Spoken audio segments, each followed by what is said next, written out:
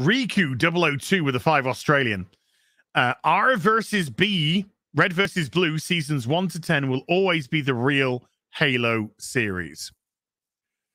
Uh, I used to watch Red versus Blue. Red versus Blue used to be a, uh, a good time.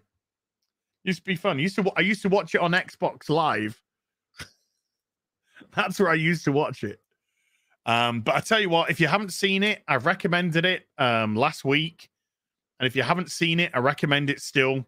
Forward Unto Dawn is a fan made Halo movie with some proper actors. Uh, and they make the film look incredible. And it's up on YouTube for free.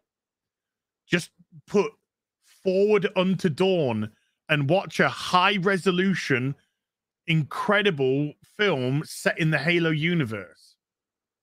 It's great. It's really, really good. Uh, legalize adulthood with a $25. Thank you. Says, I'm waiting for more supplies, but last week I bagged and boarded 50 comics with you guys and streamed the covers on Gary's Discord. Nice. Nice.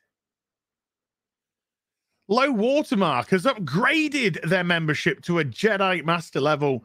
Low Watermark, thank you very much indeed. Oh, by the way, members, I'm starting a playthrough for members only, Force Sensitive and Jedi Master, uh, this week of uh, Tokyo Ghostwire or Ghostwire Tokyo. I'm hoping to have part one up tomorrow. I'm hoping to have part one up tomorrow, but it's definitely going to be this week, folks. So, force sensitive and above members, you're going to get a new, a brand new playthrough for you and you only, uh, starting this week.